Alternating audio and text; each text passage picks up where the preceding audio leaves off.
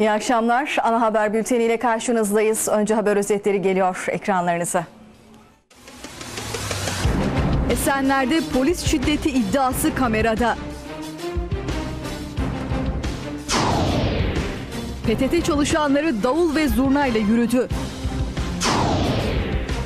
Ankara'da göçük, 6 yaralı. Çakmak gazı bomba gibi patladı.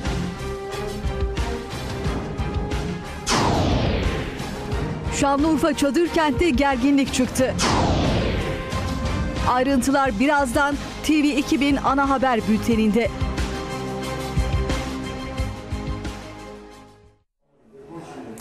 Sevgili izleyenler, Esenler'de polisin gözaltına aldığı bir şahsı ekip otomobilinde darp etti. Olaya tepki gösteren bir esnafı da yaka paça gözaltına aldığı iddia edildi. Olay anı ise güvenlik kameraları tarafından kaydedildi. Görüntülerde polis ekiplerinin esnaf Selahattin Aysu'yu zor kullanarak yere yatırması ve kelepçeleyerek ekip otomobiline bindirmesi yer alıyor. Olay 23 Mart Cumartesi günü Esenler'de meydana geldi. Güvenlik kameralarına da yansıyan olayı gören bir görgü tanığı ise şunları anlattı. 15-16 yaşlarında e, bir çocuğu polis arabaya aldı. Arabaya aldığında e, dövmeye arabanın içinde dövmeye başladılar çocuğu. Bu fırıncı kardeşimiz de ya esnafın gözü önünde, milletin gözü önünde dövmeyin git götürün gözaltına aldıysanız karakolda döversiniz madem dövüyorsunuz diye söylediğinde bunu da çekip al, almayın. Sen kimsin falan buna. Bu dedi ben esnafım. Ondan sonra işte ne biçim esnafsınız sizin ne esnaf olduğunuzu biliyoruz falan gibi saldırdılar. Bu sefer saldırıya bu sefer 6-7 kişi üstüne çullandı. Yatırdılar balık gibi yere. Tekmelediler. İşte gözaltına alıp attılar götürdüler. İddialara göre polis ekibi tarafından darp edilen Selahattin Aysu da yaşanan olayı şöyle anlattı. E, dükkanımın önünde 15-16 yaşlarında bir genci alıyorlar. Ben de o sırada dükkandan iniyorum. Hani kalabalığı gördüm. iniyorum. Bakıyorum sadece. Sonra aracın içe e, araca zorla alıyorlar aracı e, arkadaşı. Sonra vurduklarını görüyorum aracın içerisinde. Bakın şu an zaten fark edersiniz. Şöyle bir eğilip bakıyorum ve araca yaklaşıyorum. Vurduğunu gördüğüm anda. Şimdi yaklaşacağım. Evet şu an aracın içerisinde çocuğa vuruyorlar. Ben de o sırada e, aracın içerisinde çocuğa vuruyorsunuz. ya. Alın götürün diyorum şu an. Alın götürün. Aracın içerisinde çocuğa vurmayın diyorum. Beni geri ittirerek diyor ki sen kimsin? Sen kimsin? Ne karışıyorsun? diyerek beni geri ittiriyor. O sırada ufaktan bir e, tartışma oluyor. Yani alın götürün, vurmayın falan. Ben burada esnafım diyorum kapımın önü. O sırada şu arkadaş diyor ki biz sizin nasıl esnaflık yaptığınızı biliyoruz diyor. O esnada ben de tabii sinirlenerek biz de sizin nasıl polislik yaptığınızı biliyorum diyorum ve olay bu şekilde gelişiyor. Beni alıp götürmek istiyorlar.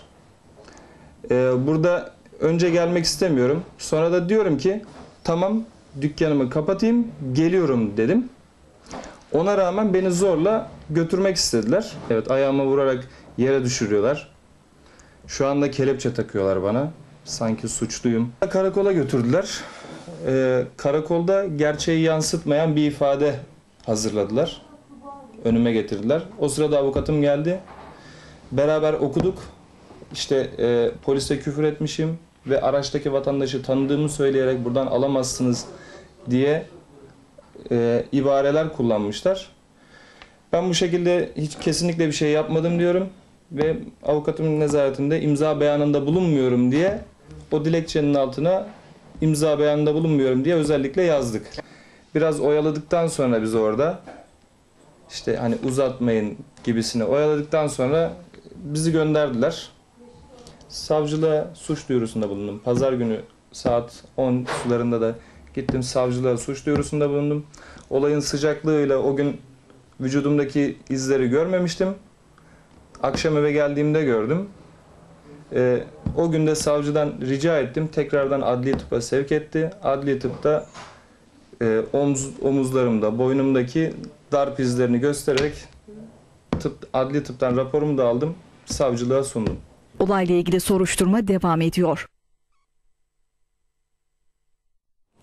Avrupa Birliği Bakanı ve Baş Müzakereci Egemen Bağış basın mensuplarına çözüm sürecini değerlendirdi. Bağış çözüm sürecinin bir kesimi kapsamadığını, Türkiye'deki bütün insanlarla kucaklaşmanın adı olduğunu söyledi. Tamam. Basın mensuplarının sorularını cevaplayan Avrupa Birliği Bakanı ve Baş Müzakereci Egemen Bağış çözüm süreciyle ilgili şunları söyledi. Çözüm süreci Türkiye'nin demokratikleşmesinin, şeffaflaşmasının, kucaklaşmasının aslında bir sürecidir. Milli birlik ve beraberlik sürecimizde insanların tabuları gömüp birbirleriyle her konuda şiddete başvurmadığı sürece fikirlerini paylaşabilmesinin önünü açan bir süreçtir. Çözüm süreci belirli bir kesime yönelik bir adım değildir. Çözüm sürecinde bu ülkenin bütün vatandaşları kendileriyle ilgili eksiklikleri, düşünceleri, talepleri dile getirebilecekleri bir süreçtir. Bu ülkede 20 yıl evvel insanlar Kürdüm demeye korkarken bugün devletin televizyonu günde 24 saat Kürtçe yayın yapabiliyorsa, Alevi vatandaşlarımız Muharrem ayında başbakanlarıyla aynı sofrada iftar yapabiliyorlarsa, Roma kökenli vatandaşlarımız Avrupa'da kendi hemcinsleri sınır dışı edilme tehlikesi yaşarken başbakanlarıyla kucaklaşabiliyorlarsa, Türkiye'de 112 yıl sonra Ermeni vatandaşlarımız Akdamar'da, 88 yıl aradan sonra Rum vatandaşlarımız Sümela'da inançlarının gereğini yerine getirebiliyorlarsa, katsayı gibi bir insanlık dışı uygulama son bulmuşsa, isteyen ana dilini rahatlıkla kullanabiliyorsa Türkiye'nin çözüm süreci gerçekten bizim bütün bu kucaklaşma imkanlarının bütünleşmesinin ortak adıdır, ortak platformudur.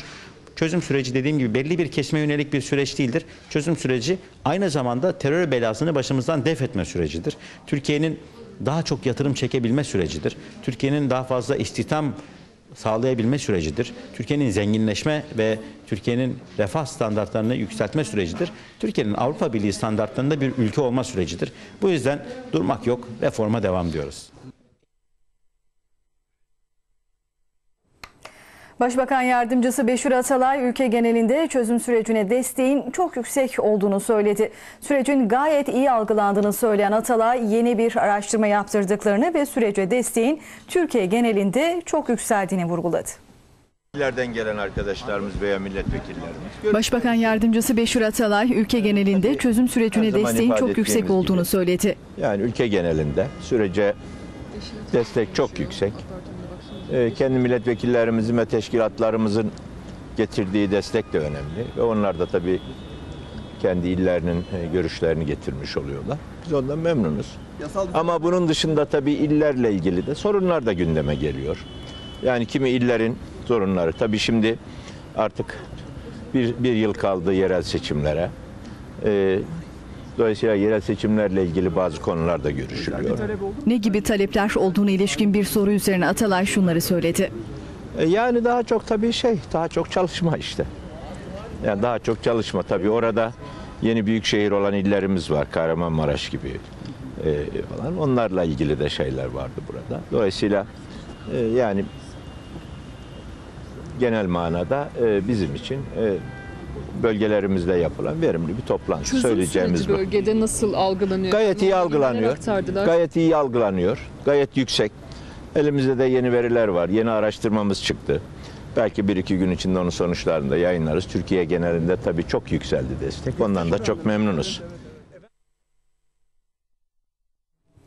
Sevgili izleyenler 2014 Dünya Kupası Avrupa elemeleri D grubundaki 6. maçta Türkiye ile Macaristan mücadelesi karşılıklı Fenerbahçe Şükrü Saraçoğlu stadında oynanan ve Sırbistan Futbol Federasyonu'ndan hakem Milorad Mezic'in yönettiği maçın ilk yarısı 0-0 berabere sona erdi. Türkiye 63. dakikada Burak Yılmaz'ın golüyle öne geçti.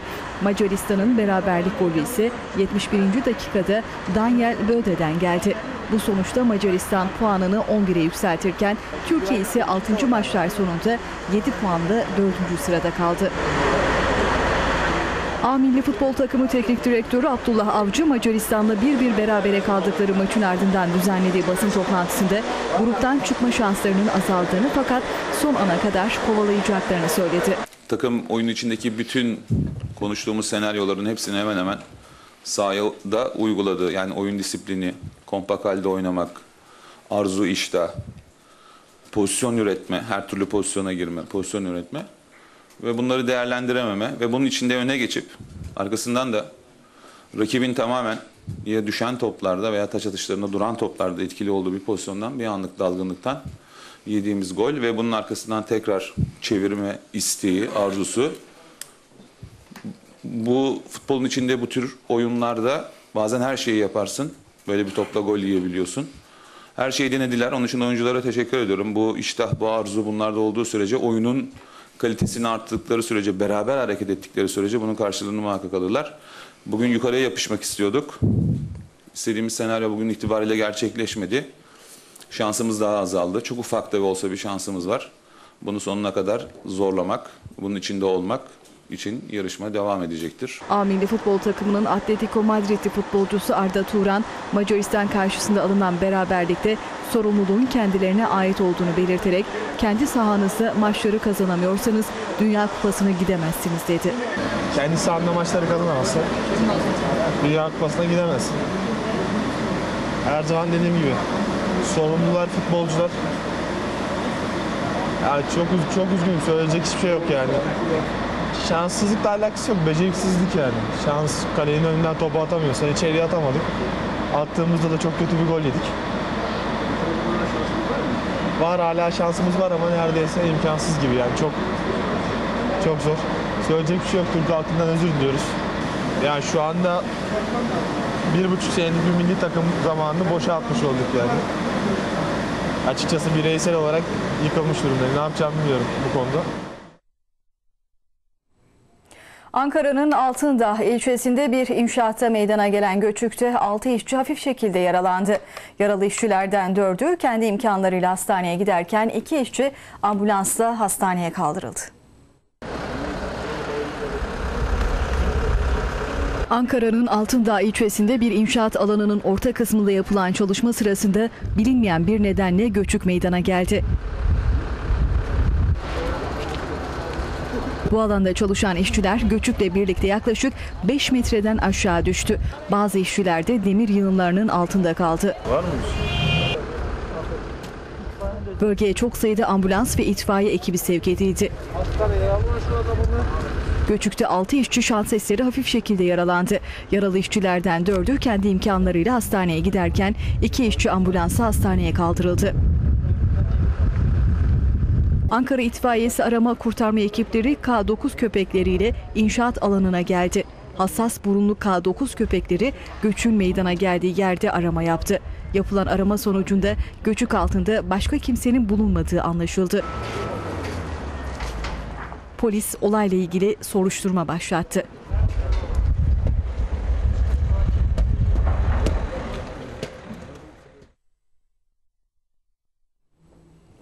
PTT'nin şirketleşmesi yasa tasarısını protesto etmek için çalışanlar bir günlük iş bırakma eylemi yaptı. Eylemi yapan PTT çalışanları da müdürlerini protesto etti. Yaklaşık 2000 PTT çalışanı Karaköy iskelesinde toplandı.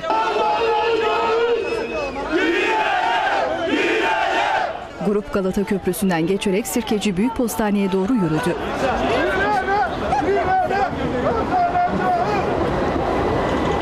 Türkiye genelinde bir günlük iş bırakma eylemi kararı alan Bağımsız Habersen, Birlik Habersen, Kes Habersen ve Türk Habersen'in İstanbul şubelerine bağlı yaklaşık 2000 kişilik grup PTT halkındır satılamaz yazılı büyük bir pankart açarak yasa tasarısını protesto ettiler.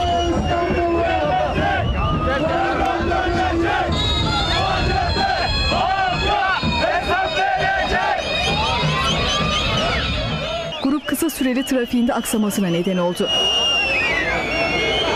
Tarihi Büyük Postane binası önüne gelen PTT çalışanları burada basın açıklaması yaptılar. PTT AŞ yasa tasarısı geri çekilsin. PTT'yi anonim şirket haline dönüştüren yasa tasarısı 5 Mart 2013 tarihinde Türkiye Büyük Millet Meclisi'ne sunulmuş ve bugün 27 Mart 2013 tarihinde komisyonda görüşülmeye başlanmıştı. PTT çalışanları basın açıklamasının ardından davul zurna eşliğinde halaylar çekerek yasa tasarısını protesto ederek olaysız şekilde dağıldılar.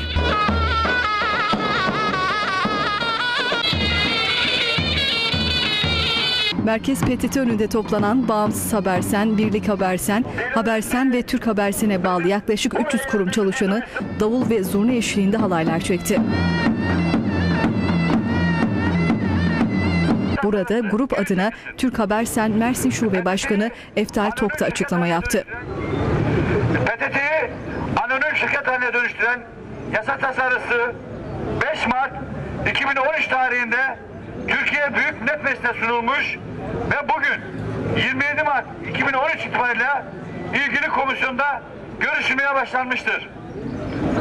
Haberleşme iş kolunda faaliyet gösteren Bağımsız Habersen, Birlik Habersen, Kesk Habersen ve Türk Habersen birleşmiş geleceğimizi, aşımızı, işimizi elimizden alan bu tasarının geri çekilmesi için bugün itibariyle ülke genelinde tüm PTT iş yerlerinde tam gün iş bırakmıştır. Denizli'de KESK'e bağlı Habersen Sendikası üyelerinin PTT'nin şirketleşmesi yasa tasarısını protesto etmek için bir günlük iş bırakma eylemine PTT İl Müdürü Durmuş Ersungur tepki gösterdi.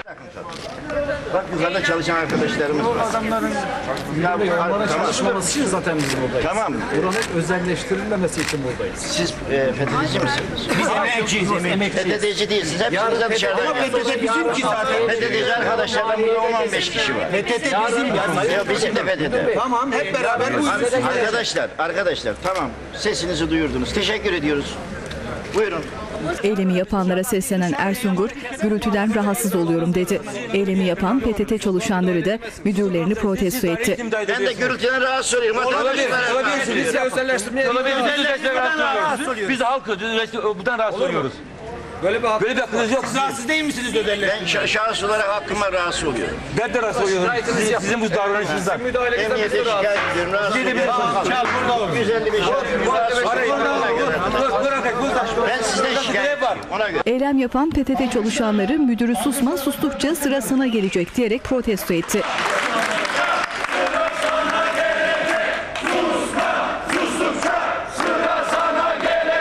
Zonguldak'ta Ereğli ilçesinde PTT çalışanları özelleştirmeye karşı yapılan ülke genelindeki bir günlük iş bırakma eylemine destek vererek davul zurna eşliğinde halay çekti. Bugün e, hükümetin 5 Mart'ta e, Türkiye Büyük Meclis Türkiye Büyük Millet Meclisi'ne verdiği e, alt komisyonda PTT aşı yasa tasarısına karşı Türk, tüm Türkiye'de e, PTT emekçi olarak bir araya gelmiş bulunmaktayız. E, Yaklaşık 50 kişilik grup PTT halkındır satılamaz sloganları atarak davul zurna eşliğinde halay çekip çifte telli oynadı.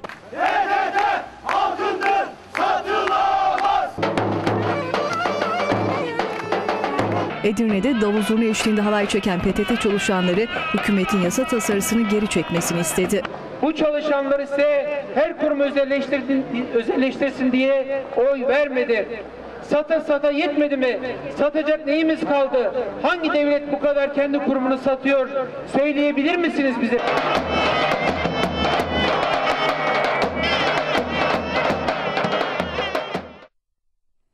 Levent'teki eski İETT garajının bulunduğu arazinin İETT'den Büyükşehir Belediyesi'ne devriyle ilgili İstanbul Büyükşehir Belediye Başkanı Kadir Topbaş aleyhine görevi kötüye kullanmak suçlamasıyla açılan davada bilirkişi raporu mahkemeye ulaştı. Raporda suç unsurunun oluşmadığı yapılan işlemin yasaya uygun olduğu belirtildi.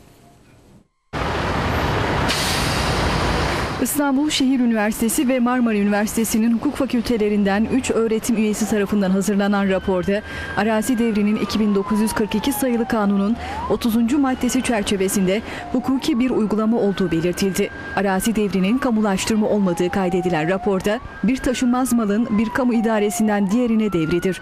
İstanbul Büyükşehir Belediyesi kamu hizmeti gören ve gerektiği zaman kamu gücü ve ayrıcalıklarıyla donatılan sahip olduğu mallarda geniş anlamda kamu malı sayılan ve bir mahalli kamu kurumu olan İETT'nin bir gayrimenkulünü kamulaştırma kanununun 30. maddesindeki imkanı kullanarak devralmak istemesinin ve İETT ile karşılıklı mutabakat sağlanarak devir işleminin tamamlanmasının hukuka aykırı bir yönü yoktur denildi. İstanbul Büyükşehir Belediyesi ve İETT'nin kamu kuruluşları olması nedeniyle arazinin satışıyla kamu zararının ortaya çıkmasının ya da üçüncü kişiye yarar sağlanmasının da söz konusu olmadığı vurgulandı. Eski İETT arsasının 16 Ağustos 2005 tarihinde 110 milyon dolar bedelle İstanbul Büyükşehir Belediyesi'ne devredilmesi kararı üzerine suç duyurusunda bulunulmuştu. Eski İETT Genel Müdür Yardımcısı Cemal Acar'ın şikayeti üzerine Kadir Topbaş hakkında İETT'yi zarara uğrattığı gerekçesiyle görevi kötüye kullanmak suçundan dava açılmıştı. İddianamedeki suçlamaya göre 1999 yılındaki ihalede yaklaşık 105 milyon dolar verilen arazinin 2005 yılında 110 milyon dolara belediye devrinin İETT'yi zarara uğrattığı, geçen süre içinde arazinin değerlendiği belirtildi.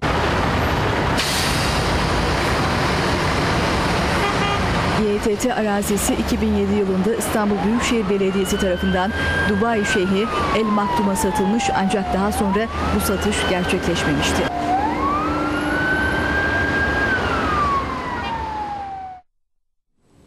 Bursa'da telefonla aradıkları kadını polisim diye kandıran dolandırıcılar kadının 6000 TL'sini aldı. Paranın yatırıldığı bankamatikte ise polis tarafından asılan dikkat dolandırılıyorsunuz yazısı ise dikkat çekti. Olay Merkez Osman Gazi ilçesinde meydana geldi. Sabah saatlerinde Sevim M isimli kadını arayan kimliği belirsiz kişiler eşinin başı dertte şu an bizim yanımızda karakolda vereceğimiz hesaba para yatırman gerekiyor dedi. Ardından arayan bir başka kişi ise kadını eşiymiş gibi davranarak ben karakoldayım hemen söylenen hesaba parayı yatır talimatı verdi. Korkuya kapılan Sevinme bir bankaya giderek verilen hesaba bankamatikten 6000 TL yatırdı.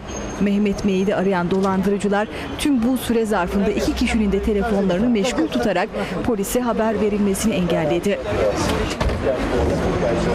Parayı yatırdıktan sonra şahıslara ulaşamayınca dolandırıldıklarını anlayan karı koca durumu polise bildirdi.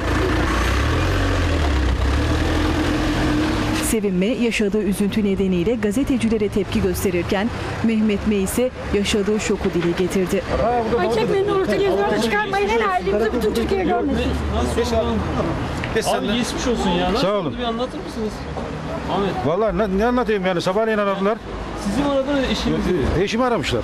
Sonra? Ondan sonra da e, eşim bana gönderdi. Benim telefonumu almışlar.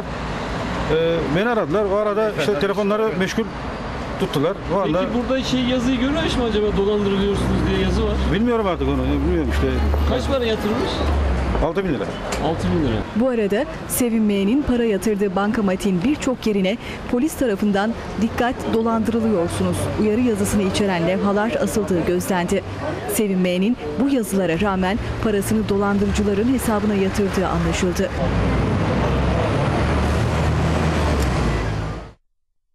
Evet uyarıları duyuyoruz ama işte dikkate almıyoruz sevgili izleyenler. Ve sıradaki haberimizde devam ediyoruz.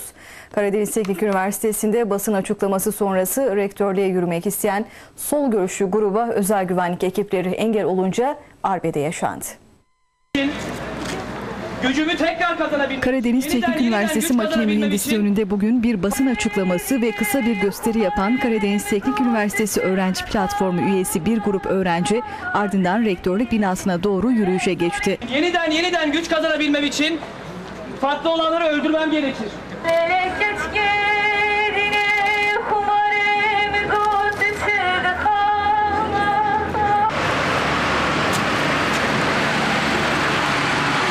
Gruba Karadeniz Teknik Üniversitesi özel güvenlik ekipleri engel oldu. Ne geliyorsun? Sen biliyorsun aklıma gerek yok.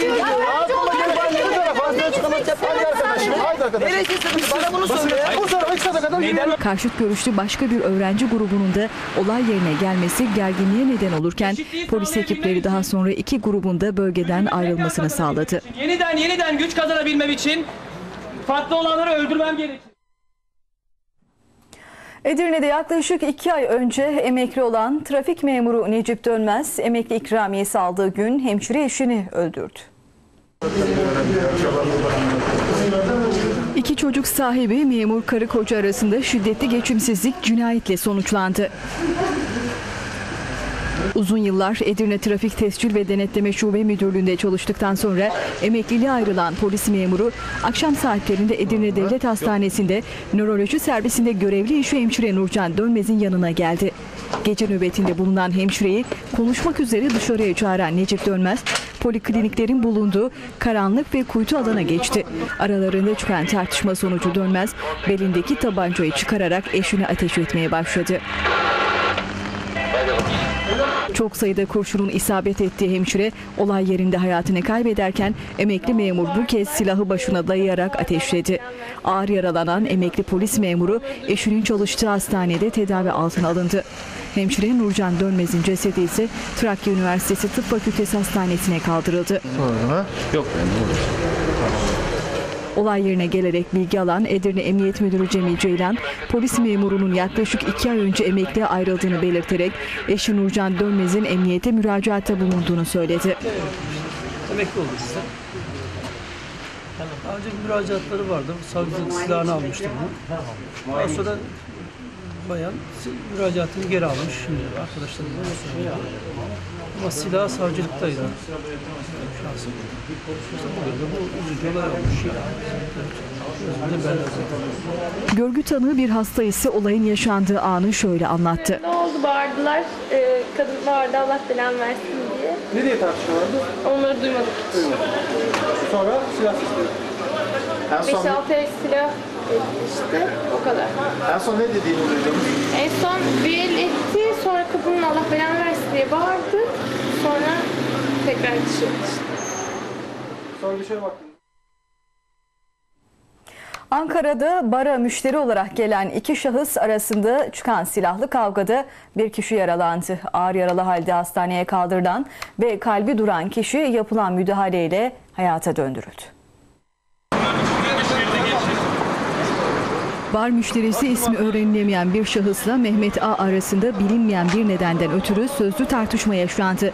İkili bar çıkışı cadde üzerinde tartışmaya devam etti.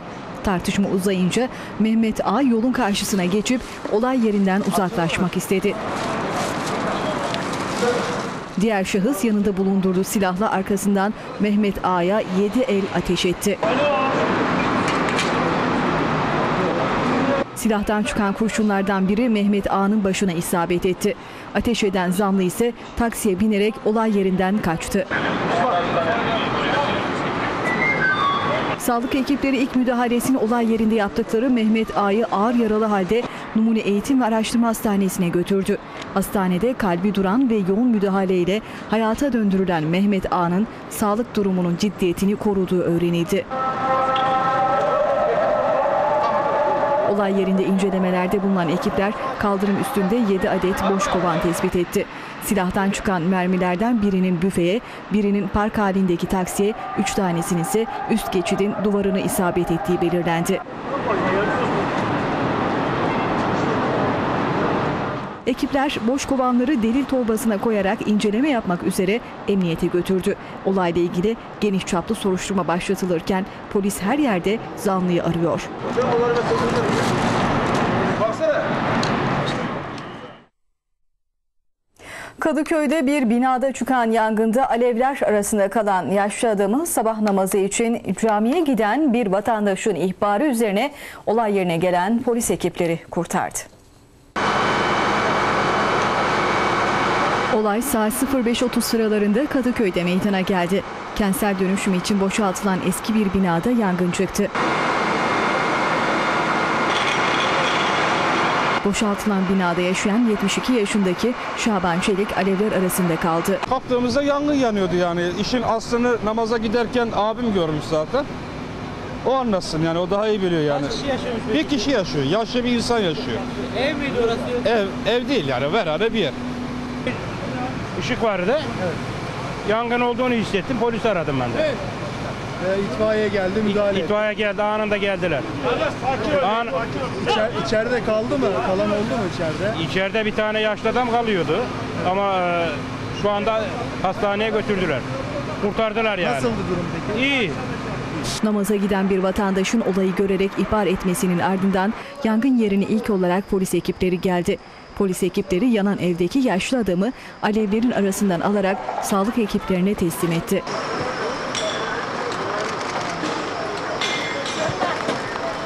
Yangına yaşlı adamın aydınlatma için kullandığı mumların neden olduğu ileri sürüldü.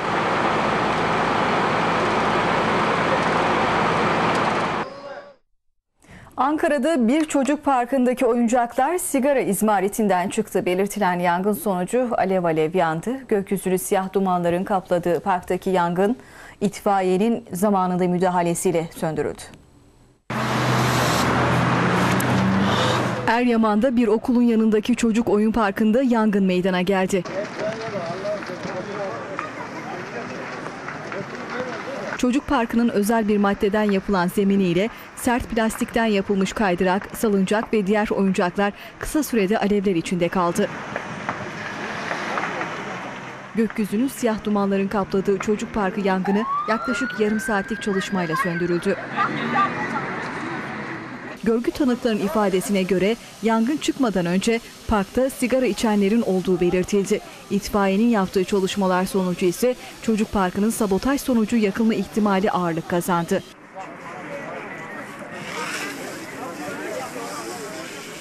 Sağlık Bakanlığı'nın Ulusal Tütün Kontrol Programı eylem planı kapsamında kapalı mekanlar için uygulanan sigara içme yasağına geçtiğimiz günlerde çocuk parkları da dahil edilmişti. Bakanlığın henüz hazırlık aşamasında olan çalışmasının kısa süre sonra yürürlüğe konması bekleniyor.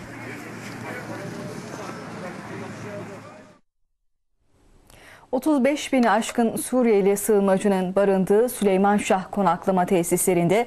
...sabah saatlerinde çıkan yangında bir kız çocuğunun ölmesi... ...iki ablasının ise yaralanmasının ardından gerginlik çıktı. Daha önce de 6 kişinin yangınlarda yaşamını yitirdiği çadır kentte... ...önlemlerin yetersiz olduğu iddia edildi. Suriyeli sığınmacıların barındığı Süleyman Şah konaklama tesislerinde sabah saatlerinde yangın çıktı. Çıkan yangında bir kız çocuğu hayatını kaybederken iki kişi ise yaralandı. Bunun üzerine gerginlik çıktı.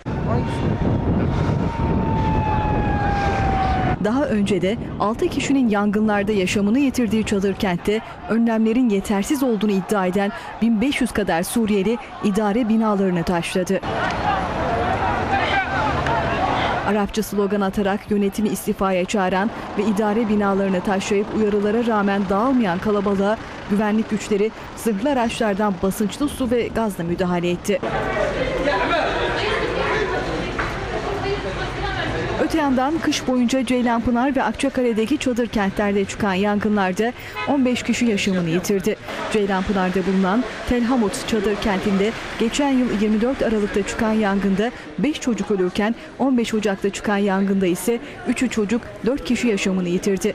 Akçakale'deki Süleyman Şah çadır kentinde ise 8 Ocak'ta çıkan yangında birbirine akraba 5 kişi 12 Şubat'ta ise 10 yaşındaki bir çocuk öldü. Yangınlarda ölenlerin sayısı bu sabah yaşamını yitiren 7 yaşındaki Sudra Elhamut'la birlikte 16'ya yükseldi.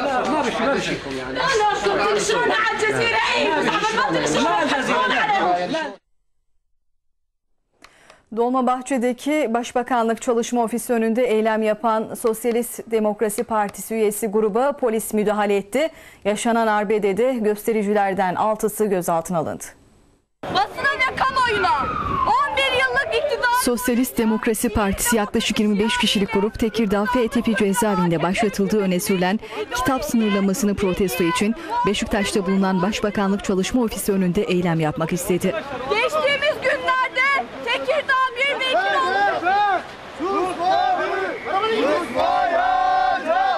Basın açıklaması yapan grup daha sonra oturma eylemine başladı. Bu sırada gruba polis müdahale etti.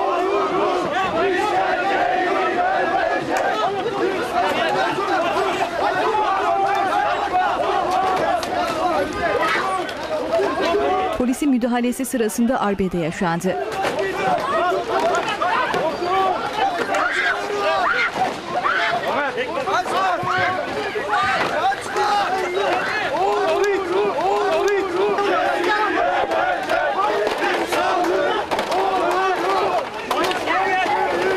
Grup üyeleri polise bayrak sopalarıyla vurarak direndi.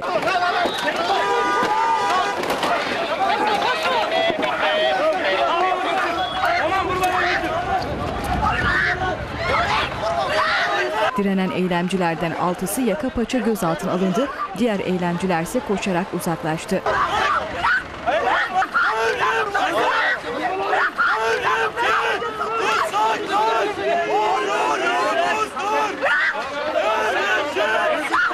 Gözaltına alınan eylemciler çevik kuvvet minibüsüne bindirilerek emniyete götürüldü.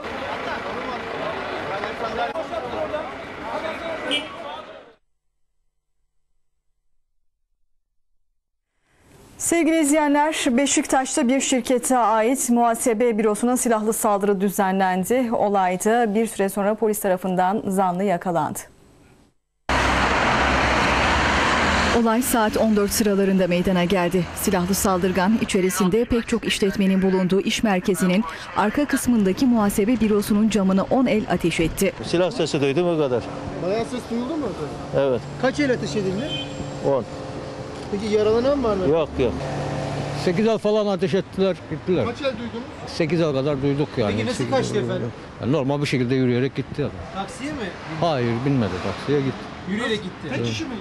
Tek. Nasıl biriydi? Yaya olarak kaçan saldırgan taksiye binip uzaklaşmaya çalıştıysa da yaklaşık 200 metre sonra polis ekipleri tarafından yakalandı. Zanlı sorgulanmak üzere Beşiktaş Asayiş Şube Müdürlüğü'ne götürüldü. Olayın ardından araştırma başlatan polis ekipleri uzun süre delil topladı. Polisin olayla ilgili çalışması sürüyor.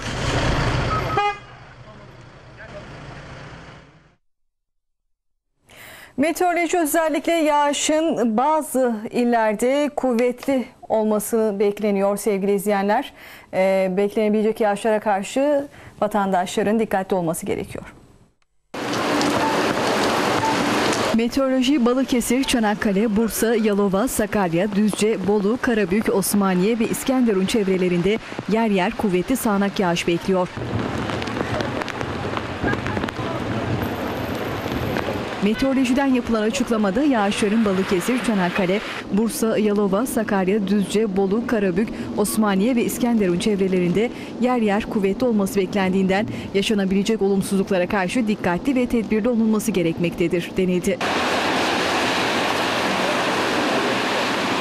Vatandaşlar ani sel, su baskını, heyelan, yıldırım ve ulaşımda aksamalar konusunda uyarıldı.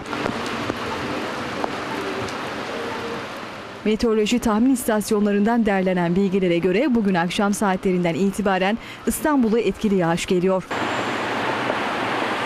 Önce İstanbul ardından çevresinde etkisi altına alacak yağışın süresinin de uzun olacağı tahmin ediliyor. Akşam saatlerinde başlaması beklenen yağışın perşembe sabahına kadar sürmesi bu sırada Çanakkale, Bursa ve Balıkesir çevresini de etkisi altına alması bekleniyor. Tahminlere göre İstanbul'daki yağış Anadolu yakasında daha yoğun. Yağış süresince kuzey yönlü rüzgarlar havanın soğuk olmasına neden olacak. Bu nedenle hava sıcaklıklarının gece 5, gündüzse 10 derece civarında gerçekleşeceği öngörülüyor. Cuma akşamına kadar hakim olacak kuzey rüzgarları nedeniyle soğuk denebilecek 3 gün geçirecek İstanbul'da hafta sonu sıcaklıklarda hissedilir yükseliş bekleniyor. Cumartesi günü öğlen ve öğleden sonra İstanbulluların 20 derecelik bir havayı göreceği tahmin ediliyor.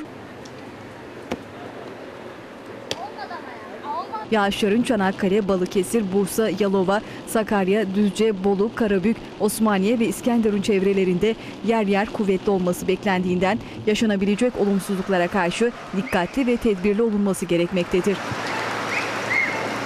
Rüzgarın güney ve güneybatı yönlerden kuvvetlice esmesi nedeniyle Güneydoğu Anadolu ile Doğu Anadolu'nun güneyinde toz taşınımı beklendiğinden yaşanabilecek olumsuzluklara karşı dikkatli ve tedbirli olunması gerekmektedir.